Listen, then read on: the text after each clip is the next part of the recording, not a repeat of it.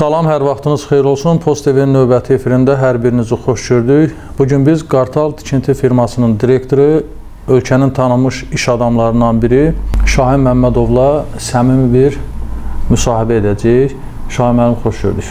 Təşəkkür edirəm. Buyurun. Öncə təşəkkür edirəm ki, müsahibə üçün dəvətimizi qəbul elədiniz. Şahin müəllim, sizinlə bir səmimi müsahibə eləmək fikrindik. Ölkədə baş verən proseslərlə bağlı, Türkiyədəki zəlzələ ilə bağlı, ölkədəki sahibkarlığın durumu ilə bağlı. Hazırsınızmı səmimi müsahibəyə? Bəli, hazıram, buyurun.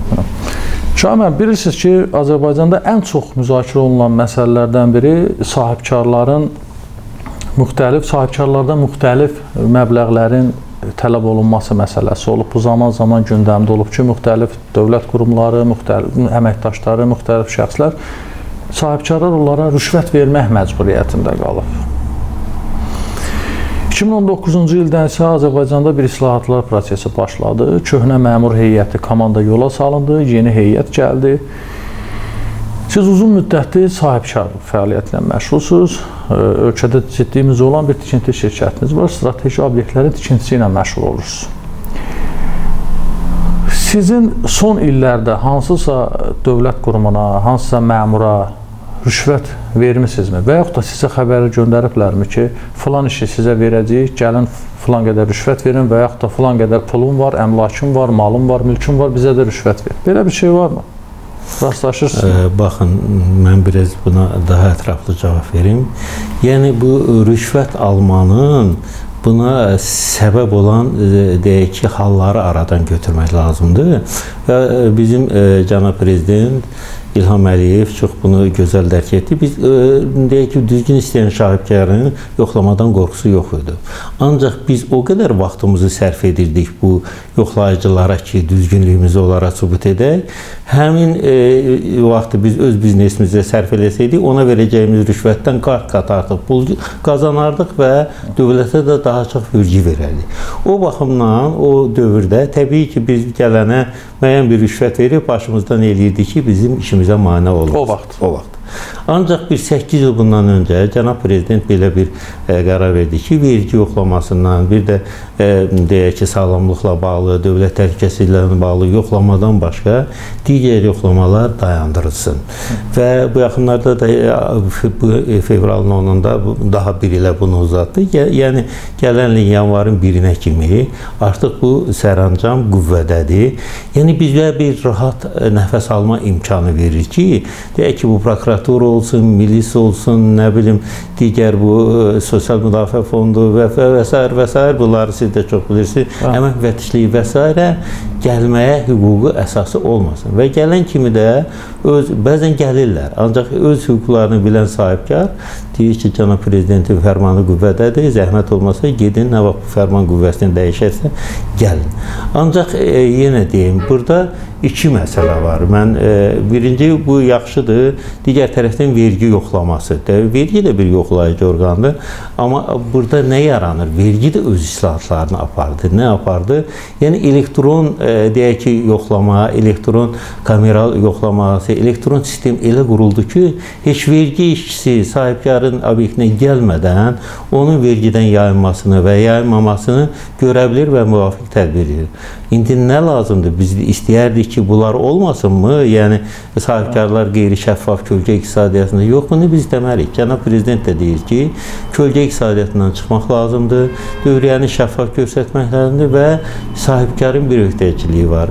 E, deməli, dövlətə vergiləri tam şəkildə vaxtlı-vaxtında ödəməlidir ki, bu dövlət funksiya edə bilsin, digər e, de, deməli büdcə təşkilatlarına müaşə eləyə bilsin və bu, bu yol bir belə imkan verir ki, bir bazar münasibəti formalaşsın qanunvericilik çərçivəsində işləməklə. Baxın da nümunə deyim.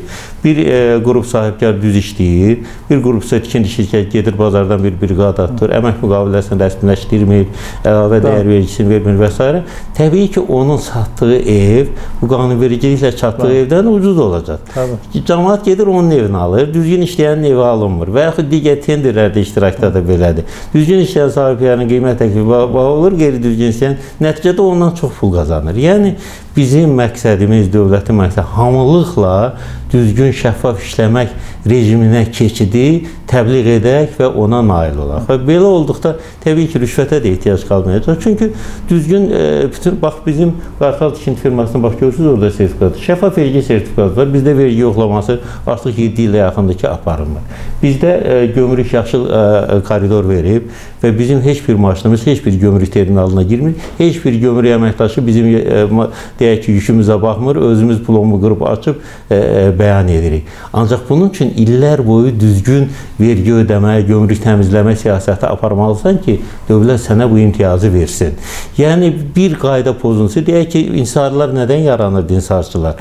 Ola heç kim gəlib demirdi ki, bu malı sən gətirmə falan kəs gətirəcək. Yox, buna şərait yaradırdılar ki, bu gətirdiyi malın e, sayını az göstərsin, qiymətini aşağı göstərsin. Düzgün işləyən sahibkar hətta öz gətirdiyi qiymətə bu rüsumları ötən satsa belə o inhisarçı ilə rəqabət edir. Onun malı satılırdı, bununki satılmırdı. Evet. Yəni bunları ə, e, qarşısını alınıb get-gedə indi ə, e, gömrük orqanında da hamıya eyni münasibət. Mən başa düşdüm sizə Şamil. Belə başa düşdüm ki, ə, e, heç bir hüquq mühafizə orqanı, İqtisadiyyat Nazirliyi, vergi xidməti və s. və sizdən ə, heç bir rüşvət istəmir. E, hazırda bundan sonra yox. Digər tərəfdən mən bir deyim, əvvəllər olmuşdu. Ancaq biz buna qarşı e, hələ istəyir gömrüyü, istəyir çox ciddi mübarizə. Hətta biz e, ali məhkəmədə film nümayiş etdirib, bizim günahsızlığımızı sübut edib, gömrük orqanı bizə 80 min cərimə eləmişdi. Onu görə almışdıq və 4 nəfər gömrük işçisinin gömrük orqanından kənarlaşdırılmasını təmin etmişdik. Eləcə də vergi. Ali yəni məhkəmədə. Ali məhkəmədə.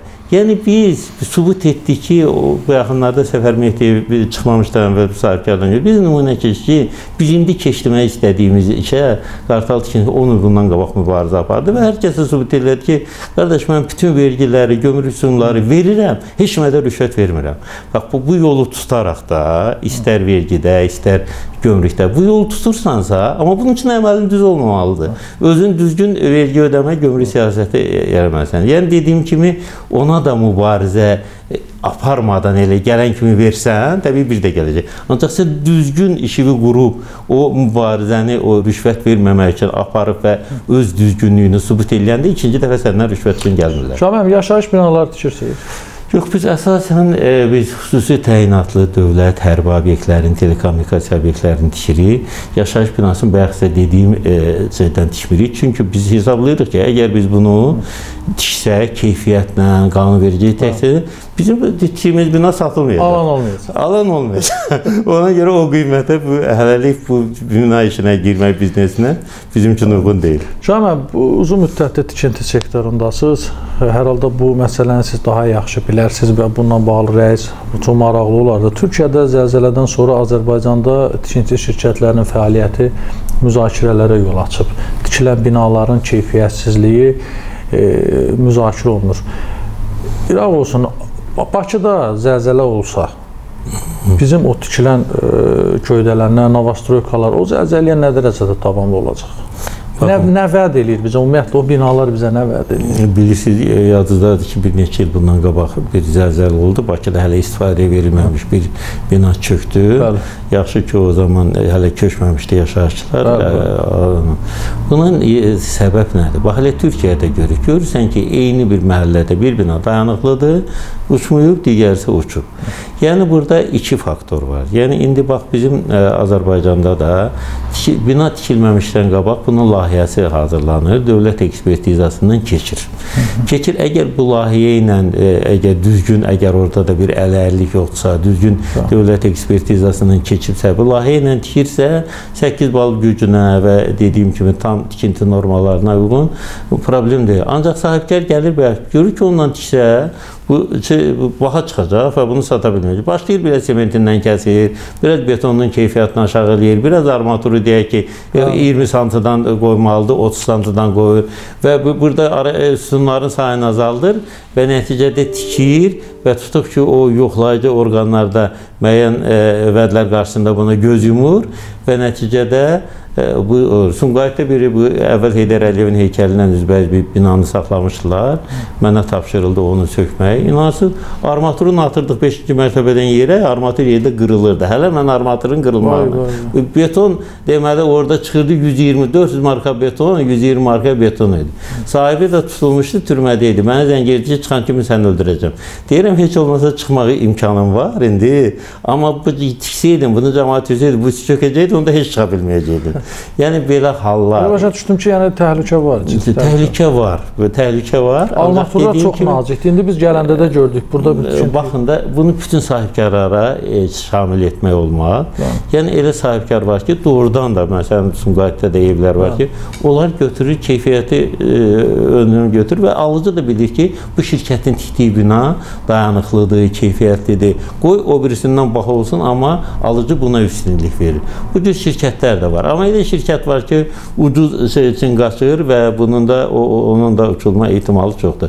Burada çıxış yolu dediyim kimi nəzarət funksiyasını yerdən Fövqəladə Hallar Nazirliyi müvafiq qurumlarını bu tikinti etapında bunu ciddi nəzarətdə saxlamasıdır. Əgər bu olarsa, bu sistem düzgün qurularsa, deyək ki, binaların da çox təhlükəli olmaz. FHN demiş ki, Fövqəladə Hallar Nazirliyinə yola gedə bilirsiniz. Elə sual verdi ki, bax bu indiki dediniz mən bu yaxınlarda Fövqəladə Hallar Nazirliyinə də çox güclü şikayət etdim. Bir nümunə deyim. Aha. Məsələn, yaxınlaşırlar krana, avto başını krandan söhbət getmir, avtokrana. Deyir ki, sən ildə bir dəfə bunu bizə aparıb şey, Dağ Mədən Agentliyində bunu yoxlatdırmalısan, 1750 manat pul verməlisən, 1770 manat. Bu, de, indi də müəssisə zat yox, çoxu amma icarəyə getmir. Bir şoferin heç ildə onun götürdüyü gəlir elə bunun benz güclə ki, öz ə, pulunu çıxardır da. da Bunlar təbii ki, buna getmir. Gəlir bir 300-500 manat rüşvət verir. Mən ə, bir analiz apardım. Burada 20 dənə kran yox, hamısı dedi ki, gəlirlər ildə bir dəfə pulun veririk, gedirik. İndi bu başqa Fövqəladə halların əməkdaşlarına əməkdaşına rüşvəti verirlər və deyək ki, o ə, təhlükəsizlik sertifikatını almırlar. Amma tə, mən nazirliyə çıxdım ki, bu təhlükəsizlik sertifikatını sən hardan tapırsan? Bu təhlükə potensialı obyekt deyil, axı təhlükə potensialı olan qaz zapravkası olar, Hı. yüksək təzyiqli e, işləyən şeydir, başınlı kran ola bilər. 1968-ci ildə SSR tikintidə təhlükəsizlik agentliyinin bir qaydası var. 68. Deməli, ona istinad edib ondan özü sahibkarlara iddia edirlər.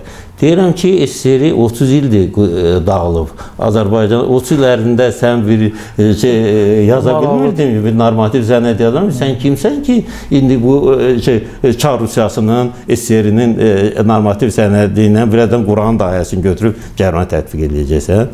Yəni bununla mən çox ciddi mübarizə, apardım. Və neçə oldu ki, Qartal tikinti firmasına bir də yanaşma, yanaşmayın. Mənim dərdim Qartal tikinti firması deyil. Mənim dərdim ümumi yanaşmadır. Mən istəyirəm ki, bu cür, yəni təbii ki, ola bilər, amma bu qanunvericilikdə nəzərdə tutulmalıdır. Deyək ki, kran sürücüsü də, kran sahibi olan məsələn bizim kimi, deyirəm yoxla, gəlmirsən bizim kranı yoxla.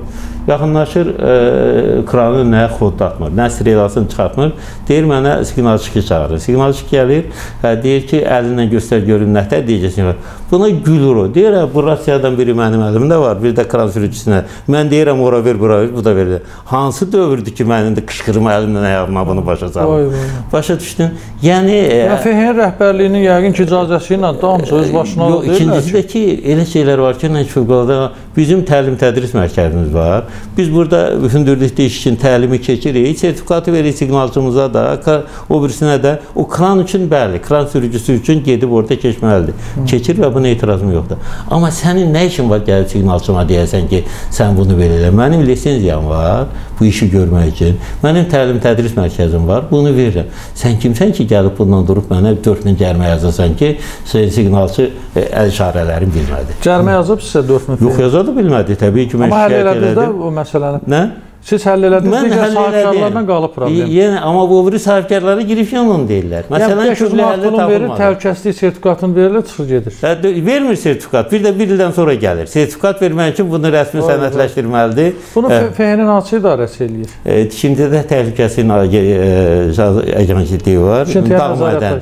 Yox, yox, yox. Dağ mədən agentliyi səhv dedim. Dağ mədən agentliyinin də tərkibində bir institut var. İkisi birləşirlər bax belə. Statik yükə yoxlamır, dinamik yükə yoxlamır, trosların vəziyyətini yoxlamır. Bir dənə kağızı 1770 manata qiymət deyir. Başa düşün. Yəni bu bir nümunədir, bir, bir nümunədir. Və yaxud mülki müdafiə Bu yaxınlarda Sumqayıt iclas oldu. Mən onlardan ciddidir. Gəlir bir sahibkara deyir ki, sən şey eləməlisən, e, sənin e, tədris planın yoxdur, sənin tutaq ki, sığınacaq yerin yoxdur. Deyirəm, hə, bu 3-4 sənin deyir ki, mülki müdafiədə zam direktorun olmalıdır, direktor müavini olmalıdır. Ona Bu da yenə 68-ci illərin sənədinə. Deyirəm, bu sahibkar özün güclə saxlayır, 4 işçisini saxlayır. Sən şəhərin bir planını, bu bilməlidir şəhərin mülki müdafiə çərçivəsində nə etməlidir? Bizim tutaq ki, Rasiya var, bütün Azərbaycanı əhatə eləyir, xüsusi dövlət mühafizə şəbəkəsinə qoşulub və məndə bu var. Mən, mən basıram bütün işçilərim o zat mobilizasiya. Bunu balaca sahibkar harda eləsin? Sən mənlə onu bir-iki sıraya niyə qoyursan? Bax, belə şeylər çoxdur, nəysə bunu danışsaq çox vaxt gedər. Yəni, sənətləşmə, yanaşma, müasir tələblərə, deyək ki, STP üçün yanaşma başqa, bir mağaza üçün başqa olmalıdır.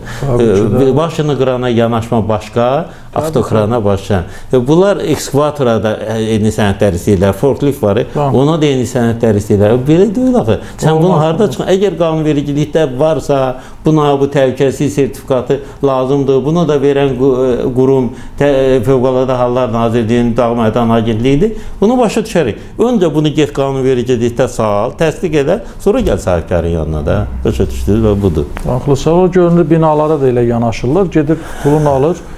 Deyir hər şey qaydasında davam edir. E, mən o sektorda deyiləm deyim, bu Şamil, deyə bilmərəm. Zakir Fərəcovla münasibətiniz necədir? Çox gözəl. Sizin e, sahibkarlıq fəaliyyəti zamanı olmur ki? Baxın, e, bəziləri Zakir Fərəcov haqqında fərqli fikirlər söyləyir. Ancaq o e, icra başçısı təyin olanda bu Sumqayıt qısa bir 8 ay ərzində o e, deyək bulvarı, dənizkənarı bulvarı e, yenidən qurdu və çox gözəl bir bulvar. Mən özüm öz təşəbbüsümlə yaxınlaşdım icra başçısına ki, mən burada bir e, obyekt tikmək istəyirəm ki, Sumqayıtlara. Bu elə Sülh küçəsindən aşağısının dəniz qınarında o basenin böyük bir fontan kompleksi var, lazım olsa onun şəklində verərik. Onu mən öz vəsaitim hesabına tikdim, 150 min manata yaxın xərc etdim və onu verdim Sumqayıtın işlə. Öz təşəbbüsümlə. Başa başa düşdün. Çünki ayrılan dövlət vəsaiti hesabına ayrılan şeyə biz Sumqayıt da kimindir, Sumqayıt bizim də. Orada kim gəzir? Orada mənim övladlarım gəzir, orada mənim sakinlərim. Və bu cür yanaşmalar insanlar tutaq ki, deyək ki, öz könüllü eləmədiyini, nəsə bir sonra eləyir, sonra təzədən pul istəyir. Belə bir məsələlərdə bu çıxır. Ancaq mən düşünürəm ki, hər bir sahibkarın dövlət qarşısında cənab prezident dediyi kimi bir e, deyək ki, var e, öhdəçiliyi, vergilər vaxtında bir sosial məsuliyyət də var. Bu gün mən yaşadığım şəhərə, Laçın rayonunda doğulduğum Alqul kəndinə, mən indi onun bərpası ilə çalışıram, işlər quram. Buna sən bir yardım eləməsən, sən yardım eləməmək, bir Sumqayıt şəhəri hardan belə gözəl alınsan? Yəni başçının fəaliyyəti sizdən yəni normal münasibəti var, fəaliyyətçə də heç bir e, fəaliyyətin heç o bir müdaxilə eləmir. Bulvarla bağlı xeyli söhbət olmuşdu, bax müzakirə olmuşdu, iş adamlarının şikayətləri. Mən e, Sahibkarlar Konfederasiyasının Sumqayıt bölümünün rəhbəriyəm Bəli. və dəfələrlə onlayn e, Zakir müəllim pandemiya dövründə sahibkarların iştirakı ilə görüş keçirmişəm və sahibkarlardan xahiş etmişəm ki, bütün problemləri açıq-açığına söyləyin. Kim ki gedib qeyri-qanuni iş görür və orada da bir e, tutaq ki, hansı bir şeyə rast gəlirsə, o nə qorxusundan o problemi səsləndirmir.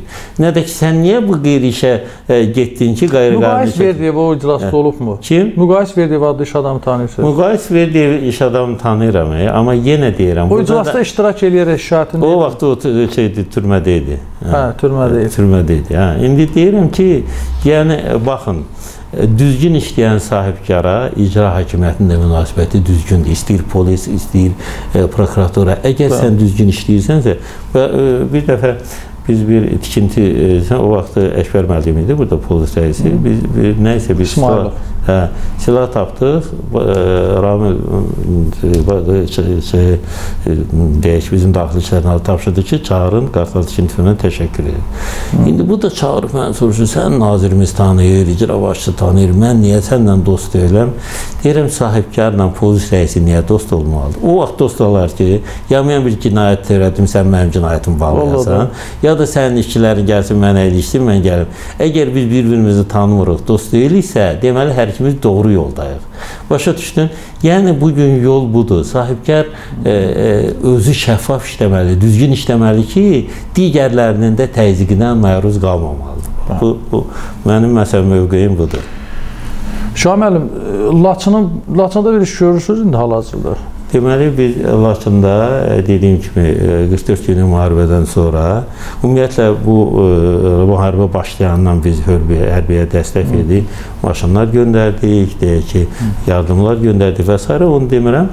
Müharibədən sonra da bizə xüsusi dövlət mühafizə xidmətinin sifarişi ilə biz bütün işğalda olmuş rayonlarda xüsusi dövlət rabitəsini, o şifrəli tetra rabitə var, hansı ki, ermənilər onu tuta bilmir, şifrəlidir. Onu qurduq və bu gün həm hərbi qurumlar, həm deyək ki, Laçındakı digər qurumlar, Laçında, Şuşada, hər yerdə bundan istifadə və mənə imkan verdi ki, deyirlər ki, bütün rayonlarda olum.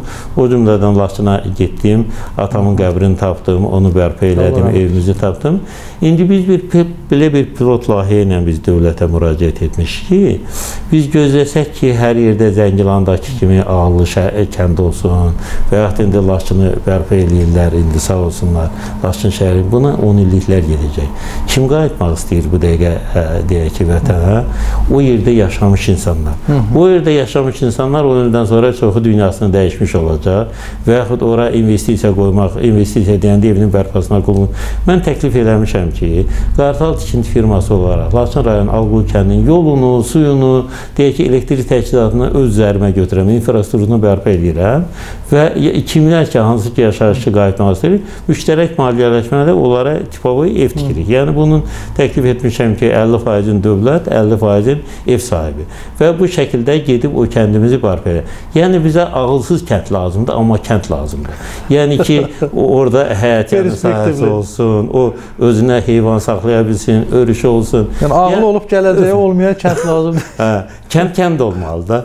Yəni bu istiqamətdə biz indi işləyirik ki, Təkcə gedib orada kənd təsərrüfatı ilə məşğul olsun. Təkcə gedib or orada zavod e, yox, bir şey yox, nə iş görəcək? Əgər bunu kənd təsərrüfatı arı saxlamağa, mal saxlamağa, örüş sahəsi olmağa, o kəskin niyə getsin oraya? Heç getməyəcək də, mümkün də deyil. Aynen. Həm də ki, e, məsələ bundadır ki, bugünkü orada yaşamış insanların potensialından istifadə etmək lazımdır. Sabahsı gün mən bilmirəm, mənim oğlum oraya getmək istəyəcək və ya amma mən getmək istəyirəm.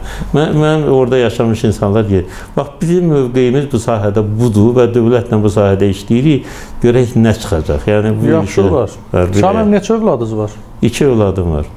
Bir oğlan, bir qız. Yox, ikisi də oğlandı. Hər ikisi Türkiyədə Qabaqçıl Universitetdə bitirib. Biri hüquqşünaslığı 9 Eylül Universitetində bizim firmada işləyir. Digəri də neft mühəndisliyi qutarıb. O da əvvəl bizdə işləyir, indi başqa bir yerdə uğurlu biznesini görür. Yəni mən nə gördüm xaricdə? Orada mən professorla belə göründü. Dedi, sizdən fərqli odur ki, bizdə pul verirlər ki, bizdə biliyi öyrədək. Sizdə pul verirlər ki, biliyi öyrətmək qiymətidir. Həqiqətən indi mən inşaat mühəndisləri ilə e, bizim müqaviləmiz var. Sumqayıt Dövlət Universitetinə biz onlara kompüterlər veririk, onların e, tələbələrinə stipendiya veririk və e, praktikadakı, yəni tələbəyə başa düşür ki, cənab prezident dediyi kimi diplom bizim üçün bir kağız parçasıdır. Əgər bu biliklərlə möhkəmlənməyibsə, sən ə, e, indi biz başa salmağa çalışırıq ki, sən 5 il bəda versən, bir kompüterdə öyrənməyi ə, e, sən can çəkirsən. Sənin başqa vaxtda bu qədər o tələbə vaxtında olduğun boş vaxtında olmayacaq. Ha. Və yaxud gəldin sahibkar sənliyini, deyəcək fəali işləyirsən, gedişdə işləmirsən sən mühəndis kimi burada, mən səni niyə götürüm? Yəni bax burada da təhsil sistemində də problem budur. Ona görə bizim firmada işləyən, ə, e, rəhbər vəzifələrdə işləyən hər kəs xaricdə təhsil alır. Sizin övladınızın biri də burada işləyir. Biri burada işləyir, birinci müavin. Evlidir sizin övladlarınız? Bəli, hər ikisi. Hər ikisi. Qudalarınız kimlərdir? Da indi ehtiyac var. Düzdür, şəxsi cavab verməyin, amma yaxşı olar. Ziyalı insanlardır onlar da, yəni məmurdurlar yoxsa? Yox, e, biri məmurdur, biri isə e, yox. Məsələ ondadır ki, yəni dediyim kimi ailənin tərbiyəsi böyük bir şeydir. İnsan gərək E, nəsil nəcabəti olsun da bizim xalq dilində desə. Əgər mənim atam bir məktəbin direktoru, anam başqa bir məktəbin direktoru və ömür boyu da zəhməti ilə mən bu bu zəhmət keş, keçdiyi onlardan öyrənmişəm və onların tutduğu həyat yolunun davamı olaraq davam etmişəm. Və düşünürəm ki, mən də illər boyu öz zəhmətimlə nə qazanmışamsa qazanmışam və mənim övladlarım da həmin yolu tutacaq. Buna xüsusi diklamasiya demək lazım deyil və bu gün də görürəm ki, o cürdür. Dövlət başçısı ilə indiyə qədər görüşmüsünüzmü? Görüşünüz olubmu? Bəli, görüşmüşəm. İndi bəzi məxfi layihələrdə də görüşmüşəm. Bir dəfə Nərmanov rayonunda xüsusi bir obyektin tikintisi idi. E, orada da şəkli var. Onu mən e, cənab prezidentə təqlid eləyirdim bunu belə tikmişi, belə etmişi. Qapıya baxdı. Dedi bu qapını harda e, hansı xarici ölkədən almısan? Dedim Sumqayıtdan. Dedi əgər Sumqayıt bu gün belə qapı şeydir. yəni cənab prezidentin xarici səfərlərdə də çox bir yerdə oluram və təbii ki, mənə ən çox e, bir dəfə biz e, Viyanada idik, deyək ki, Avstriyada. Onların prezidentlə danışdı, bizim prezidentlə danışdı. Əvvəl bizə heç bir nümayəndə verən yox idi. Bizim prezident danışıb qutarandan sonra sanki biz bir böyük bir sahibkar e, statusunda biz qəbul edildik və yanaşma dəyişdi. Ümumiyyətlə cənab prezidentin imici, bu sahibkarlığa qazandırdığı, Azərbaycanın deyək ki, qazandığı imic sahibkarlığın e, inkişafı üçün çox e, imkan yaradır. Yəni bizə prezidentin prizmasından baxırlar və onun dediyim kimi apardığı islahatlar və yaxud neçə dəfə mən cənab prezidentin adını çəkmişəm, istər yoxlamaların dayandırılmasında, istər şəffaflığın yaradılmasında və sahibkara e, deyək ki, iqtisadi əlverişli mühit yaranma, Bunlar hamısı və çox böyük işlərdir. Biz bu gün bəlkə də bunu bir sahibkar olaraq az dəyərləndiriksə, ancaq bu inqilabi dəyişikliklərdir. Və düşünürəm ki, və Qarabağdakı müharibə. Mən həmişə düşünürdüm ki, biz hərbi layihələrlə e, işləyirdik. Deyirdim, nə zaman biz qalib gələ bilərik? Üç faktor lazımdır. Müzəffər Ali Başkomandan, Rusun texnologiyasına üstün texnologiya malik silahlar və düşmənə nifrət hissi ilə yoğrulmuş, bilik bacarıqları olan zabit heyət. Bu üç faktor birləşdi və bizim qabiliyyət qələbəmiz təmin olundu. Mən burada yenə mən deyərdim ki, burada əsas flaqman cənab prezidentin deyək ki, ali baş komandan kimi bir e, siyasətçi kimi apardığı siyasət oldu ki, mən bu gün deyirəm də rahatlıqla gedib atamın qəbrini ziyarət edirəm, Laçınımız bərpa olunur və s. Burada da bunun prezidentin adına yazılan çox bir müsbət bir işdir. Heydər Əliyevlə necə görüşünüz olubmu heç? Onunla şəxsi görüşüm olmasa da bir nümunə deyim. Bir gün e, böyük bir psixoloq yapılıq idi. Kamazın baş direktoru və Birinci Şəhər Partiya Komitəsinin birinci katibi. Dedilər bu psixoloq yapılıq kim təhvil verər? Əlimi qaldırdım mən. Dedim amma şərtim var. Konveyerdən gündə 20 dənə e, bir, bir dəqiqədə 9 dənə maşın çıxır. Bir dəqiqədə 9 maşın. Siz bunu 20-sini ayırın mənə. O vaxtda əsas bilgi yayda Svekloyazada göndərdilər, tikintidə maşın çatmırdı. 20-sini ayırın mənə. Mən bu tikintini başa vurum. Sonra da gətək yaxşı yuyaq, rəngləyək, göndə göndərək də. Hə, biraz fikrə getdi, dedi ki, o Əliyevin yerisidir, bunu Azərbaycana aparmayaq, aparmayacaq, verin. Yəni verdilər və mən də o tikintini uğurla başa saldım. Yəni orada Heydər Əliyevin bir adı, şəxsiyyəti mənə imkan yaratdı ki, o obyekti vaxtında tikib təyin edim və mənə daveriya yaratdı, başa düşdünüz? Yəni mən Heydər Əliyevlə görüşməsəm də, ancaq onun hər zaman e, deyək ki, onun Azərbaycan xalqı üçün, Azərbaycan iş adamları üçün nə qədər dəyərli bir insan olduğunu hiss etmişəm və bu gün də onu yüksək qiymətləndirirəm. Şamil, Vaqif Axundovla işləmisiniz? Bəli, biz e, xüsusi dövlət mühafizə xidməti. Yəni əvvəldən onun vaxtından o işləri görürsünüz. Onun vaxtından biz elə bir ki, əsas pudraçılardan biriyik. Yəni məxfilik baxımından adını çəkmək istəmirəm və onunla işləmək bizə çox xoş idi. Hı. Və bu gün bizim tikdiyimiz obyektlər və bizim e, mən söyləyim ki, bəzən heç mənim xəbərim olmurdu. Düşürdüm ki, Vaqif Axundov obyektə gəlib baxır və öz tövsiyələrini inşaat işində yaxşı bilirdi. Yəni mən ona e, çox böyük rəğbət bəsləyirəm. Bu gün hər hansı bir məmur sizə problem yaratmır ki? mən yenə deyirəm, bu gün problem yaratmamasının səbəbi bizim qanunvericiliyi bildiyimiz, işimizin düzgün aparmaq qabiliyyətimiz və məmurlara qanun çərçivəsində cavab verə bilməyimiz. Əgər bir balaca biz geri adım atsaq, o qədər gələr ki, biz imkan vermirik indi gəlməyə. Deputatlarda kimləsə münasibətiniz var? Ümumiyyətlə e, deputatlarla da e, dostluq elədiyim, əlaqə elədiyim Məsələn? insanlar çoxdur. Məsələn elə e, Tahir müəllim, o deyək ki, iqtisadiyyat komitəsi Mirkişili, Mirkişili, həm bizim Sumqayıtdan deputatdır. Bilirəm, bilirəm. Həm də ki, o olsun, Müşfiq Məmmədli olsun, yəni Sumqayıtdan deputat və ya Aydın Mirzəcanzadə. Ümumiyyətlə çoxları ilə münasibətim yaxşıdır və onlar da deyək ki, müəyyən məsələlərdə sahibkar mənlə məsləhətləşirlər, bizim təklifləri qəbul edirlər və düşünürəm ki, yəni e, üçgüzar deputatlar və e, o lap o vaxtı Səməd Ziyadov vardı. Səməd bu insanlarla e, iş qurmaq və onlara deyək ki, bizə lazım olan tərzdə qanunvericiliyi keçirməkdə onlar çalışırlar və bu da yüksək qiymətləndirilməlidir. Sizin e, firma Sumqayıt şəhərində yerləşir. Bəli. Siz eyni zamanda Sahibkarlar Konfederasiyasının Sumqayıt, Sumqayıt nümayəndəsi. nümayəndəsisiniz. Sumqayıtda neçə dənə sahibkar var? Sayı nə qədərdir bu? Yox, Sumqayıtda bilirsiniz, deyək ki, belə var da, qeydiyyata, vergi orqanlarında qeydiyyata alınmış sahibkarlar. Yox, ciddi sahibkardan çox. Ciddi sahibkar hardasa 200 arasındadır. Ciddi, 200 ciddi, ciddi sahibkar var. Bəli böyükdür və onu deyim ki, burada da çox ciddi iş görən, çox şəffaf iş görən sahibkarlar var. Düzdür, onların çoxu bəziləri Bakıya bağlıdır, deyək ki, istif olsun, amma öz e, işi ilə burada iş quran sahibkarlar hardasa bir 100 nəfər var. Yəni onlar da dövlətin həm vergisi. Bax indi mən sizə dedim ki, biz e, şeydə e, təşəbbüs qaldırdıq ki, işləmək qabiliyyəti olmayan e, qazilərə ayda 300 manat kartdan pul ödəsin. Mən hansı sahibkara müraciət böyük məmnuniyyətlə qəbul edildi və vaxtlı vaxtında o 300 manat o deyək ki, ayağı olmayan, qolu olmayan qaziyə ödənilir. Və ya şahid dairələrinə dediyim Neçə qaziyə pul verirsiniz? 30 qaziyə, 30 nəfər. Şəxsən siz? Yox, bir onunla biz veririk, 20-sinə digər Hərəsinə ayda 300 manat pul verirsiniz. Hərəsinə ayda kartına pul ödəyir, bank kartı. O heç bir sahibkarın qapısını açmır o 50 e, deyək ki, o e, bank kartına pul daxil olur, gedib kartı ilə öz ehtiyaclarını ödəyir. Yəni biz bu işi belə qurmuşuq ki, nə burada bir ələyirlik olmasın, nə də budur. Həmçinin sahibkar da bilir ki, məsələn demirəm keçirin bizim AİSK-nın fonduna biz keçirik. Yox, birbaşa sahibkarla e, qazini qabaq-qabaq qoyur. O da bilir ki, buna kömək eləyir. O da bilir ki, bu sadəcə biz bir koordinasiya rolunu indi İstəyirdim cavabı qısalım. E, əmək müfəttişliyi ilə hal-hazırda əmək müfəttişliyi sahibkar olaraq sincidirmi? Əmək müfəttişliyi mən qapıdan buraxmıram indi buraxmıram. Hələ ki o qanun qaydaları gedir. Nə vaxt o qanun qüvvəsini dirəcək, onda buraxacağam. Məktub yazır, cavab verir. Amma bir təşəbbüs göstərmişlər. Nə istəyir? Qapıya niyə gəlir əmək müfəttiş? Məsələn, tutaq ki, bir də görürəm bir fərman da verib özündən gəlib ki, bir kimsə şikayət edib, öyrədib kimsə şikayət edib. Mən onunla Səlim Müslümovla görüşdüm və məsələni çox ciddi qoydum ki, kimdir ki, bu cənab prezidentin fərmanı ola belə gələr?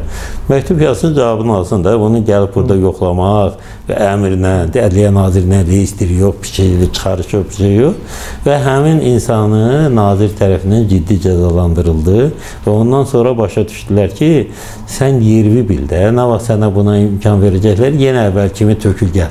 Amma gələndə heç bir əmək müfəttişi əvvəllər gəlib yoxlamırdı ki, səndə deyək ki, riski dəyərləndirmə, bu işi necə təhlükəsiz görmə, deyək ki, iş proseduru və s. heç bunlar barədə təşəbbüsləri yox idi. Gəlmişi haqqımızı ver. Ə, sən bir yoxla gör bu əməyin mühafizəsini necə qurub, əmək e, deyək e, ki, e, müqaviləsini düzgün mü bağlayıb, yoxsa ikili mühasibatlıq gedir. Bunları bunlar İndi haqq istəyən var o əmək müfəttişliyindən. İndi də haqq istəyirlər. E, nə yaxşı. Əmək müfəttişliyi indi haqq istəyir. İndi yox, indi gələ də bilmirlər axı. İndi gəlməyə imkan vermirəm.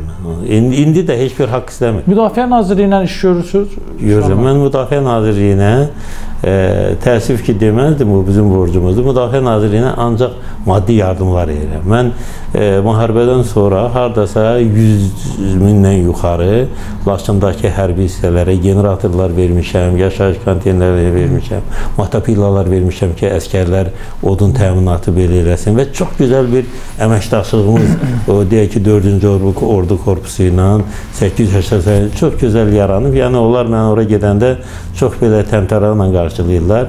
Bir dəfə gedirdim, elə bu epizodda deyim sizə. Kəlbəcər tərəfdən girdim, Qorçu kəndi var orada. Səhər soyuqda arxadakı maşını. Əsgər çıxdı ki, əmi gəl bir içən çay. Girdim ki, odunlar duruzbə ilə doğlanır falan. 2 riyad burada. İçəridə qəşəng peç yanır. Əsgər də mənə çay verdi. Bir özümə gəldim. Dedim, nə yaxşıdır sonra? Dedi, Allah kömək olsun. Sumqayıtda bir Şahin müəllim var. Bizə 2000 manata Almaniya istehsal motobillər. Bax, onunla bütün odun məsələlərimiz elə. Dedim, o mənə inanmadılar. Sonra çıxıb maşına baxdılar indi mənim.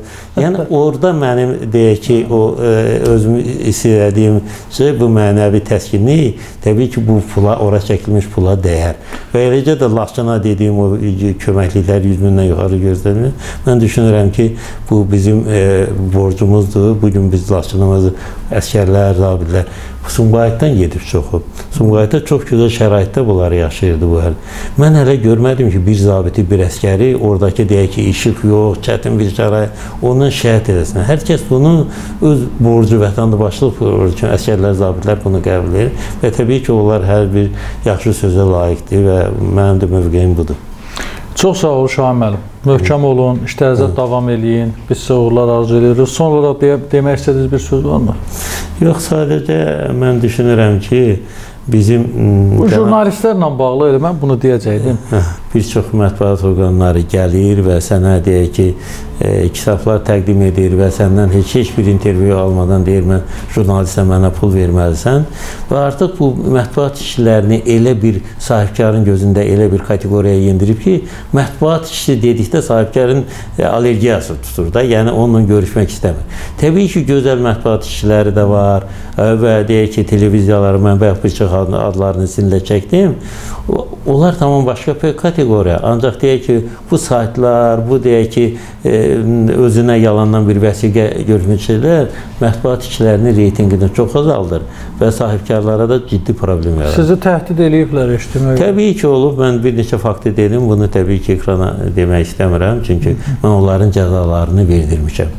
Bu cəzası olmasaydı deyərdim. Ancaq Siz mən... dediniz onları və mən onu da sizə deyim ki, onlar jurnalist deyillər. Onlar Hı. E, onların heç ali təhsilləri də yoxdur. Onlar küçələrdə rekeçiliklə, dilənçiliklə məşğuldurlar. Bütün gün idarələri gəzirlər. Hı. Elə bir hal olanda müraciət edin dövlət qurumlarına. Hı. Yəni biləsiniz ki, onlar jurnalist deyil. Şamil bir daha sağ olun, çox sağ olun. Hı. Dəvətimizi qəbul elədiniz və hesab edirəm ki, səmimi bir müsahibə alındı. Çox, çox sağ olun. Təşəkkür edirəm sizin izləyicilərə də hər kəsə can sağlığı, bütün sahibkarlara uğurlu biznes, çox pul qazanmaq və dövlətimizə də yəni sahibkar vergi versin, dövlət var, varlı olsun. Bunu arzulayıram.